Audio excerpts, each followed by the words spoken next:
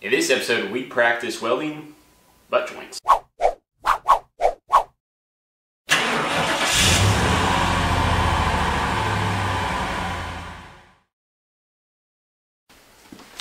Welcome to Straight Six Fan. I'm Grant Tommy, helping you build your hot rod and your confidence without a ton of money. And of course, we continue on this new series I call What We Weld in Weekly, um, which is just a simple attempt to document over the course of a year, if you only have a couple hours a week, how much you can grow welding. And that's where we left off in the last episode. We uh, we started prepping some some metal tabs, some 3 16 inch steel um, for these different exercises, and I was able to clear, clean up um, three of those pieces, um, or three sets, I might say, to get us basically ready to rock and roll tonight. However, so here are all the uh, the rusty ones, and I put in a plastic bag the ones I cleaned, which yeah, okay, good. Um, you know, try to keep moisture out of them for the course of a week. It looks like they held up pretty well. I need to dress them one more time with the flap disc, but let me bring you in closer to show you what else I need to do to these. Alright, so as mentioned earlier, I need to dress these up one more time. Um, I've got a little bit of like grease spots from the clamp that I was clamping, uh, you know, the piece down to my, my, my table here with. Um, but I went ahead and I beveled one edge on all of these, which is great, great starting point. But what I think I'm going to do is I'm going to bevel the ends on some of these. So what I'm going to do, I will bevel one set on one side, no, two sets, two sets on one side, and then one set on two sides. So when I get these all done, um, and welded together, then I can come back through and we can start stacking them together. Um, like so. And have more uh, more practice. So anyway, let me get to uh, let me get to finishing these up, and then we'll we'll get to welding. Because another reason why I wanted to do it this way, I suppose I could. I guess I guess this would be a longer. Um, longer opportunity to do something like that. Maybe I'll do that. Um, there are a couple different techniques I want to practice tonight. Uh, so, anyway, we'll see. Uh, I don't know which is more obnoxious. I guess it kind of ends up being the same.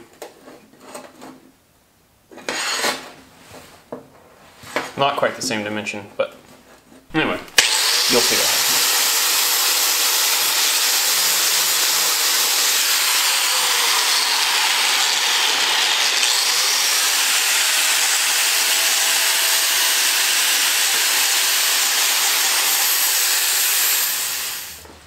we have our three sets cleaned. Uh, now, kind of final prep. I will take some acetone and wipe these all down with that as a last layer of cleaning. Now, keep in mind with arc welding or SMAW, shielded metal arc welding, um, it's a little it's the most forgiving of the three processes um, in terms of how clean your metal has to be. But again, this is just, if you remember from my first episode, what I'm doing is I'm trying to take, I took Steve Darnall's Welder 101 class, or I'm not all the way through it, but it's it's designed for teaching how to MIG weld. And since I don't have a MIG welder, I'm trying to apply as many techniques as I can, see how they carry over to arc welding, because I still think, um, much like my 5 Minute Friday from a while ago, which I'll leave up over here, I have this belief that it doesn't really matter which form of welding you start in, just start in one, and you can learn a lot and carry it over to other processes. So anyway, clean metal prep is something that I just need to get in a better habit of as it is. So that's what, again, that this is my, my, I keep joking with my wife that I'm going back to school to get my associate's degree when I already have a bachelor's degree, but this is my training. This is my school, my class. This is two hours a week, every week for 52 weeks, and let's just see where we get. Um, so anyway, hit these with, with acetone, and um, there's a couple different techniques I want to try. Okay, first off, some of these bevels are deeper than others, so not all bevels are created equal. Um, and I will use my thicker rod for that. I want to try one set at least with, uh, I've got a uh, 116, no. Well, I've got a thinner rod. I'll, we'll, we'll cover that later when I have it in my hand. Um, so I want to try some with that. Uh, but then, you know, with stick welding, arc welding, uh, you have the advantage of we can just drag the rod straight through this, um, through these, or I will do what's more natural to me, uh, just from my time being spent. I do a little more of a swirl, so just really concentrating on blending the three metals, this metal, this metal, and then my, my rod metal itself. So kind of coming, coming down, make sure we're penetrating over here, getting back into the weld, make sure we're penetrating there, and then just kind of doing a circular motion. So again, that's why we beveled the other edges of these, um, because then there's a, another technique that there's this uh, Asian, uh, or I believe, an Asian channel, and I, will leave a info card to his channel, but he he will just get in there, kind of just tack, like just kind of get the rod, go, pull, go, pull, go, pull, and he produces some really nice looking welds the way they they stack, you know, like like everybody always talks about stacking dimes. But anyway, so we're gonna try a bunch of those and just just that's what this is about.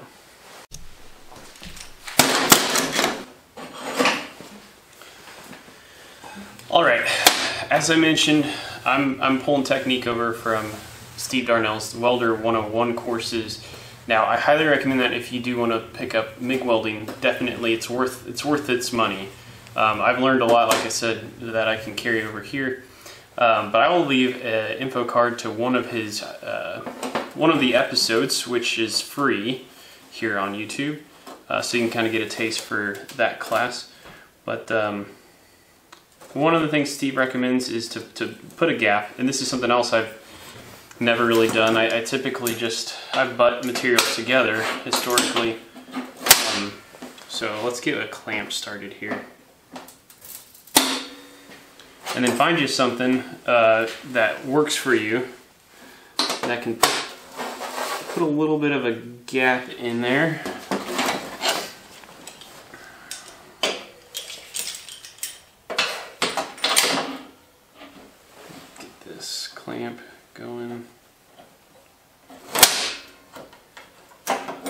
Need a third hand.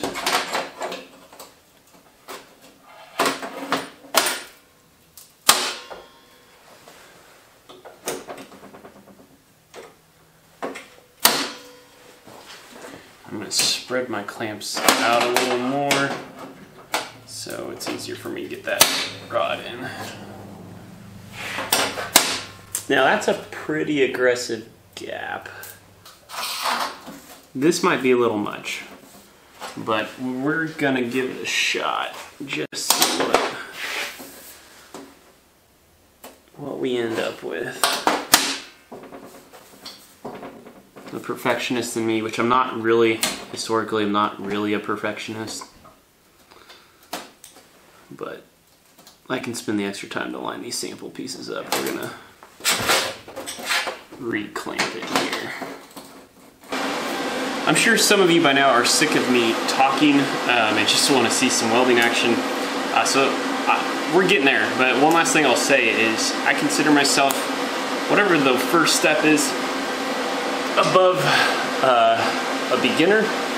And um, so whatever that is, you, you, make up your own mind. But um, if you're if you are a true beginner, um, don't be afraid to just get a piece of flat stock and run your run your rod, just a, just learning to run a bead on just a piece of metal. Don't try to fuse two things together because that is still a skill that you can uh, that you need to have. It's an obvious skill you need to have, but like don't put that undue stress on you by needing to have to feel like you have to fuse two pieces of metal together.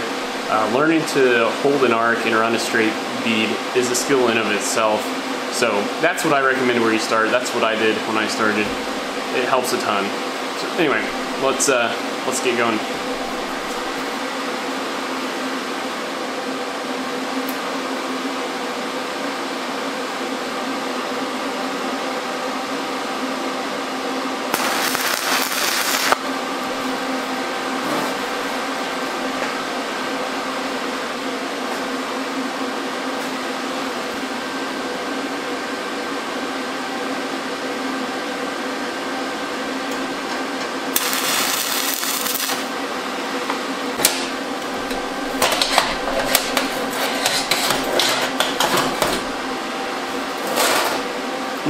Ourselves our practice piece tacked together on the ends. And so what we're going to do before we get going,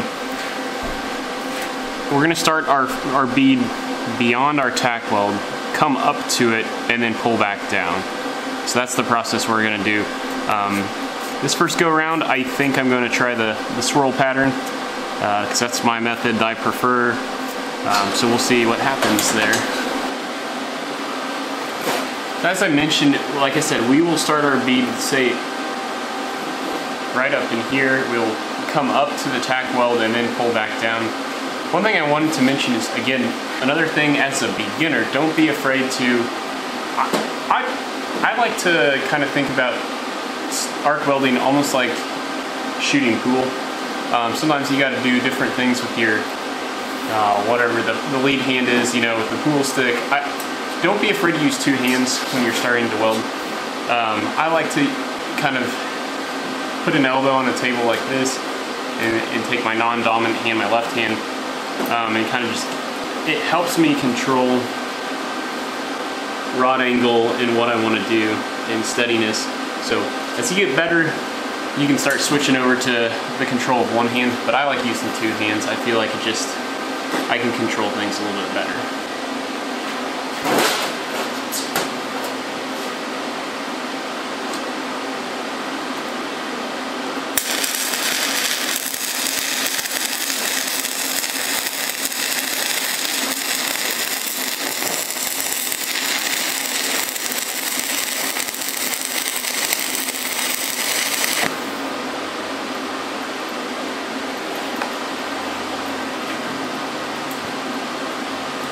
Alright, so I stopped halfway there because I could see a lot of porosity in my uh, in my bead. And while I, the, the heat didn't seem bad, and I don't see any signs of overcut, I don't know, it just seems like I can fine tune this a little bit before I, seemed like I had to go a little too fast. I don't know, I mean, I'm not upset about this, but like I said, it just seemed like I had to go just a little too fast, but hey, where that came off, that was that was nice. Yeah, a little bit of undercut. Um, again, this is the tricky part. I tried to start here, come up to my tack weld. I didn't do a good enough job there. You can see.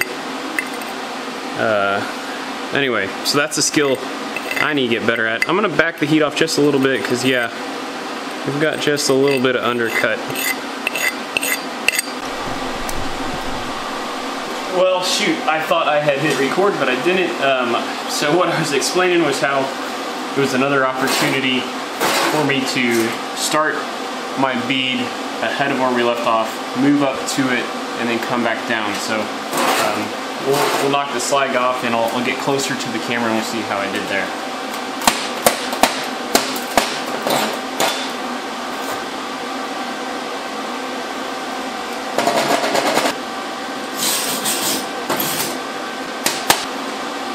Think I got the heat just about right. Um, it's a nice flat weld. Really, I mean that bevel wound up not being too aggressive really. Um, you can kind of flip it around the backside and we can see just how far we penetrated. I mean we still have still have definitely a little bit to go but um, you know they say if you really want to tell how well he did you cut it in half and see how solid the metal is between. Uh, I don't think I'm there yet.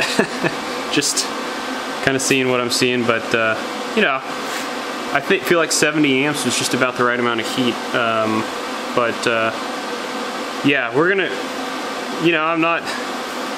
It's not an 8 plus weld, but uh, solid B student, I think. I wouldn't want to be. I'm not ashamed of this, but there's definitely some things I need to work on again, being able to connect beads, you know, when you're changing out a stick or whatever, or electrode, I suppose, and then I didn't do a very good um, come up to my tack weld start here. So anyway, this next round, we're just gonna try the drag technique and see if we can get, um, you know, similar to better results in this.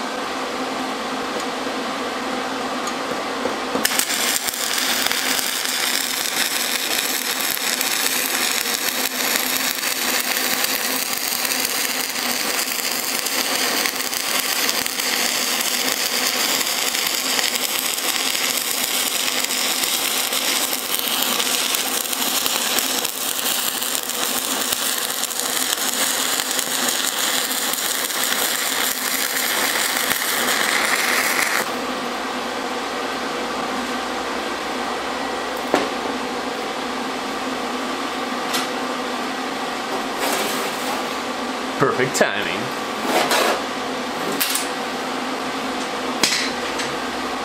Alright, so you may have noticed about halfway through, I, uh, I changed my technique a little bit. Let's see how hot this is. Where I, I started and I was just just dragging, but then, you know, kind of just seeing through my welding helmet, it just seemed like a, a really narrow puddle because it was going right in the bevel. So about halfway through, I started to do, uh, as I'm dragging, just push back up a little bit, and do that kind of motion. So we'll see if that gained me any um, additional advantages. Uh, we'll see. It's like a scratch-off ticket.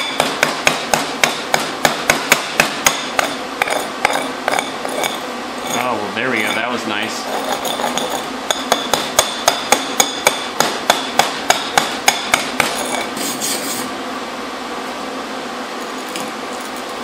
All right, here we are on the drag technique. So again, this was just the simple drag, and you can see I've got some pinholes here and here.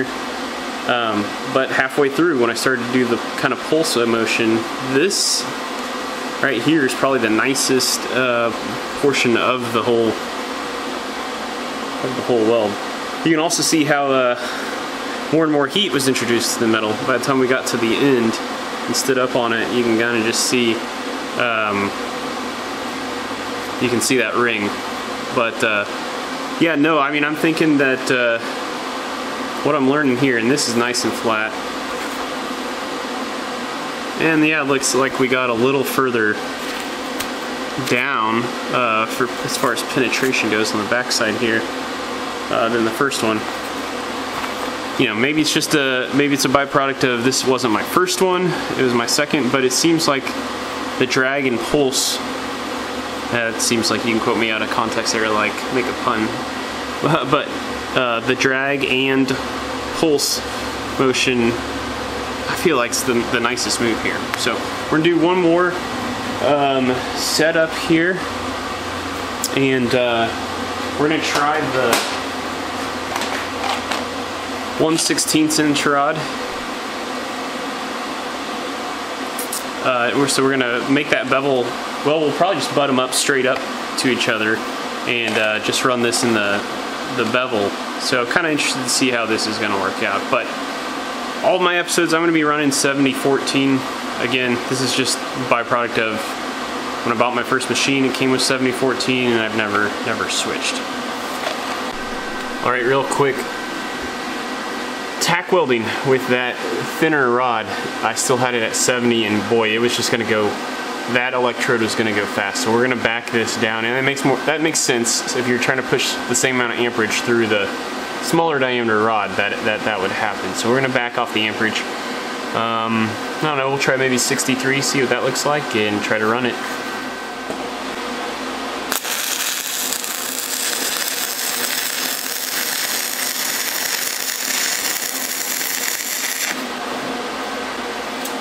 Alright, that that was running pretty fast. So I might back it off even a little more here. Yeah, not a bad little weld, but we got a little bit of BBs and stuff.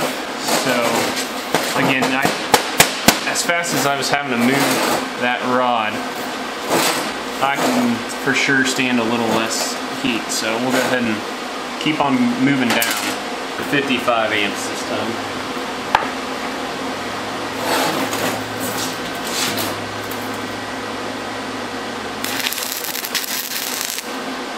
Alright, you see that?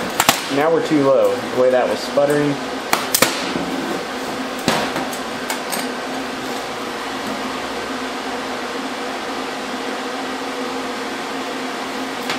It back up to 60.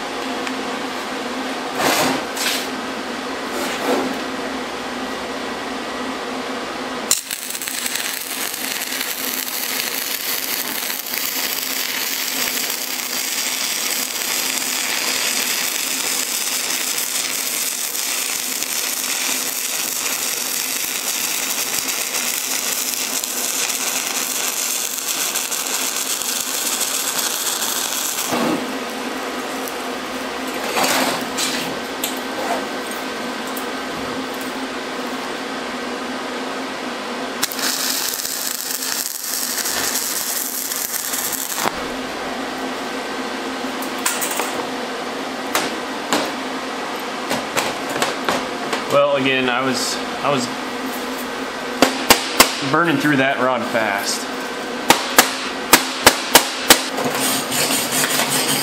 This is definitely more uh, C material here, guys.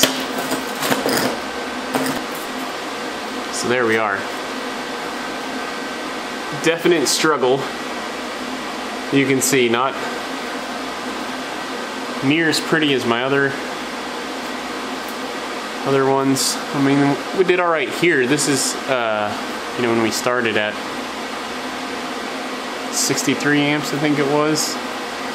Maybe it was just about right. It was just, I mean, I mean, I just had to run so fast that when I got into the middle, my rod angle, you may have noticed, I don't know how well it showed up on camera, but my rod angle got uh, out of position, and, and, that's part of what I was fighting in there. But uh, yeah, shoot. Well, glad I start beveling other sides, so we'll um, let's try the uh, let's try the well, I don't even know what you call the other technique. This is the last one I'm gonna do.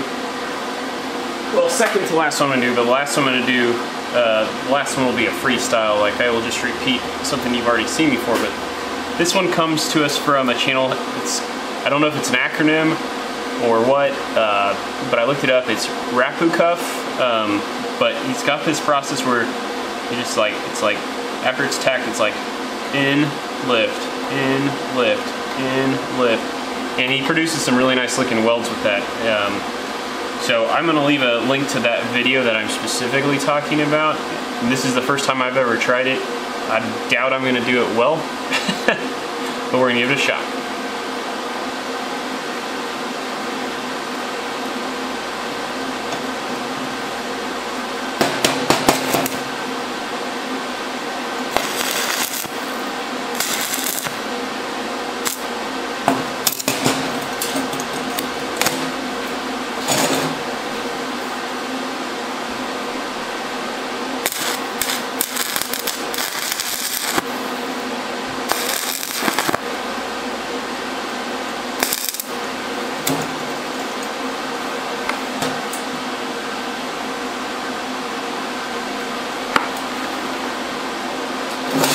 that extremely difficult. Get it started, pull back.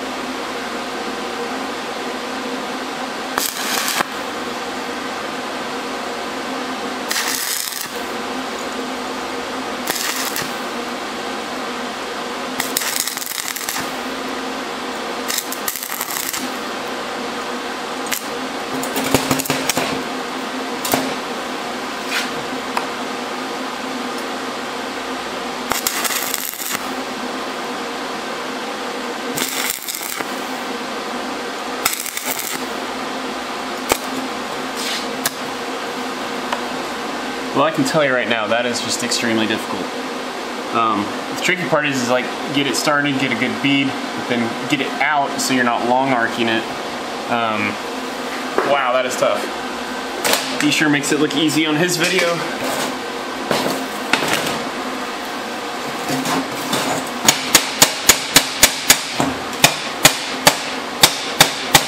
Definitely something I'm going to need a ton more practice on if I want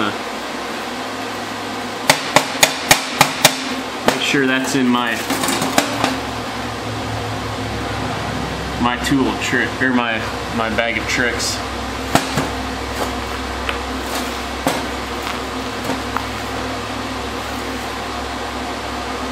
All right, well, we'll go back to the uh, the dragon push.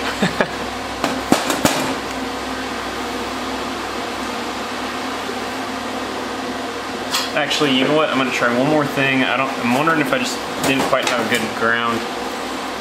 So we're gonna go to the piece itself, and we're gonna we're gonna give the Rapukuf uh, technique one more shot.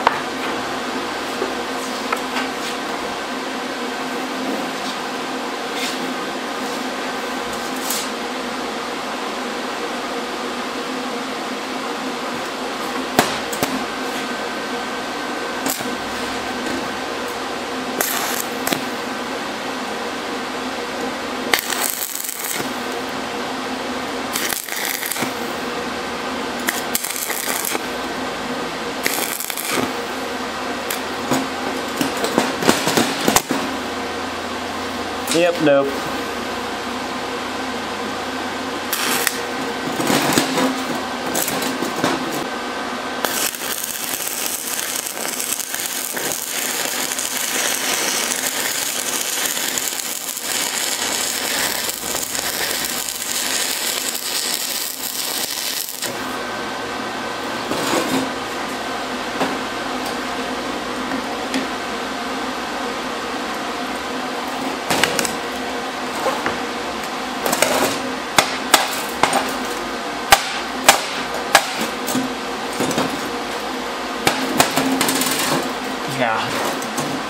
Yeah. Yep. Drag and push much much better um, for someone in my skill set. Um, so this is going to be, I think this is where we're going to finish the night up with uh, with one last one last butt joint. This was right at 75 amps, which I, I think was, you know, we said earlier was maybe a little too hot. So I think what I'm going to do, we're going to dial it back to, since we can on the Everlast, something like 72 or 73 and see if that's just like the super sweet spot and uh, just see what, what that gets us.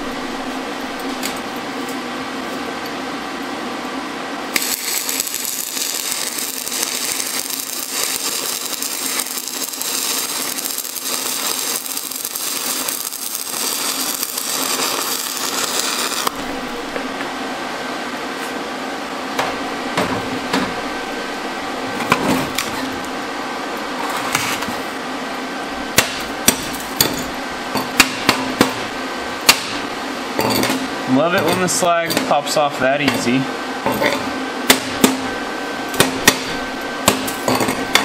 I had to start and stop more than I wanted to, but I could feel my rod was just getting out of position. And it could just tell I was getting a bad rod angle. But really, aside from having to start and stop, that probably is the best weld of the night. So, what a one to what one to finish on. Like I said,